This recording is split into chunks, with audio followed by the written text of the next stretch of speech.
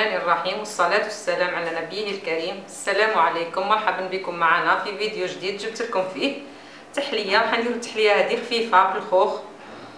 ونقدموها بلا كريم. واش نحتاج لهاد التحلية؟ نحتاج لها خوخ. نحتاج شوية عسل شوية زبدة شوية سكر. نروحو كيف نحضروا هاد التحلية.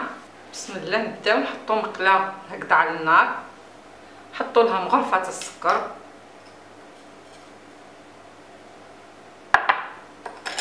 السكر هذا نحلو عليه هكذا. ونخليه حتى يتكرمل لي شوية هذا السكر. ونرجع ليه. كما تلاحظوا السكر تاعي هذا اللي حطيت في المقلة. شوف بدا يتكرمل ليه هكذا داب لي هكذا.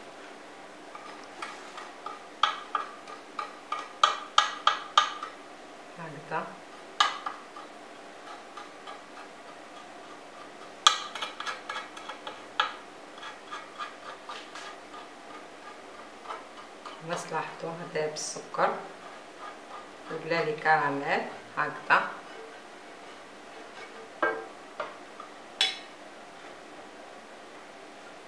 نقصوا النار خلاص هادية تيجي النار هادئه نحطوا لها مغرفة كيما هكذا زبدة.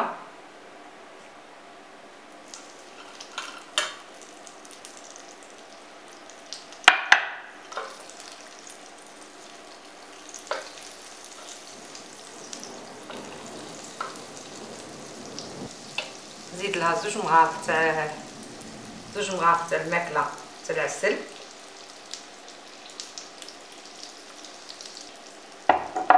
كما تلاحظوا هكذا على نار هاد خلاص حتى يندمجوا هادو العسل الزبدة السكر اللي درتو كراميل. ندمجوا مع بعضها. هكذا. يندمج معنا هذاك السكر والعسل هذيك والزبدة هكذا. نشقوا الخوخ تاعنا على اثنين الحبة على اثنين هكذا كما تلاحظوا هكذا. ونحطوهم عليه.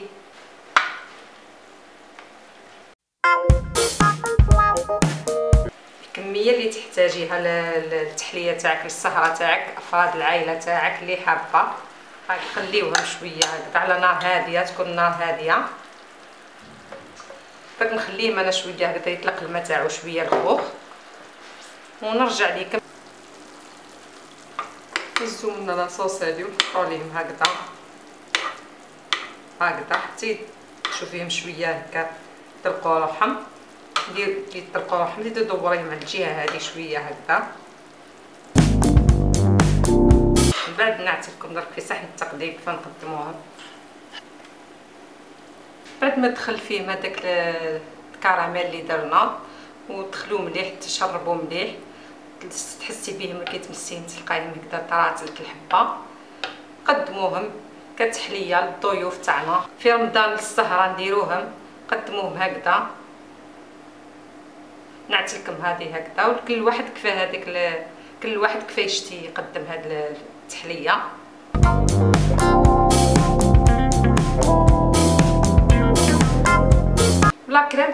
توجدوه في المحلات تشري آه، لا كريم تاع البايض هكذا باش تجيك ساهله تحبي ديريه في الدار يديروا في الدار تحبي تشري تاع المحلات المغرفه هذيك تاع لا كريم ولا باه ما نصعبوش على رواحينا هكذا بالمغرفة برك خدميها بالمغرفة حطيها في الوسط تاع هذا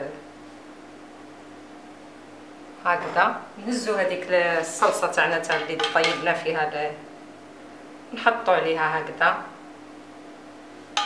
تجي تحلية رائعة. رمضان. ضيوف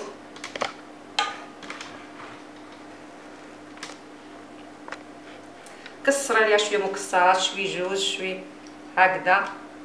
وقدميها للضيوف تجي لذيذة. تجي تحلية رائعة. نبدلوا شوية ما نقدموش الفواكه نقدموها هكذا بلا بلا كريم. نتمنى إن شاء الله تنال إعجابكم.